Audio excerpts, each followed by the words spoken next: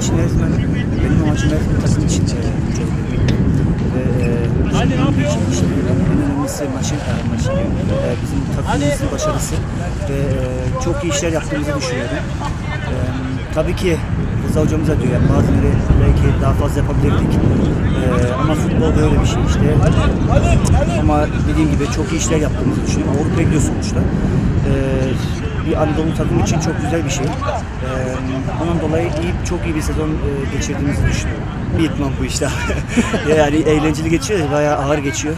Ama e, mecbur abi. Sonuçta e, hem kupa var, hem lig var, hem Avrupa'ya gidiyoruz işte, UEFA var. E, çalışmamız lazım ve çok da iyi çalıştığımızı düşünüyorum. E, böyle çalışarak başarımızı elde etmek istiyoruz tabii ki. Açıkçası yani bilmiyordum. E, Şimdi tabii idmanlarda gördüğüm kadarıyla çok kaliteli oyuncular sonuçta. Ee, yönetim bence çok iyi iş yapıyor ve iş yapıyorlar. 3-4 tane transfer daha gelecekmiş. Ee, onlara güveniyoruz e, sonuçta. Ee, dediğim gibi çok iyi bir takım olduk. Ee, birkaç arkadaşlar takılacak bize. Ee, inşallah onlar da ayakları sahada e, takım için mücadele edecek. Tabii, ki- elimizden yapacağız ama e, sonuçta herkes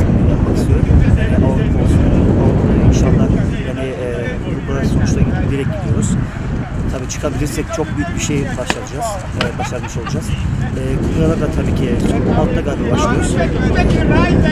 Orada tabii ki rakipleri gelirsek bunları iyi. Ligde de sonuçta e, bu sene gibi en kötü Avrupa'ya tabii gitmek istiyoruz. Ya e, bizim için aslında e, dediğiniz gibi pandemiden sonra e, seyircisiz oynadık. E, iyi olmadı açıkçası. Çok bir destek oldu. E, yani nasıl diyeyim her zaman dediğim gibi televizyon destek olsunlar. Bize inansınlar, bize güvensinler. Çünkü biz elimizden gelen her şeyi yapacağız. Buna söz veriyoruz.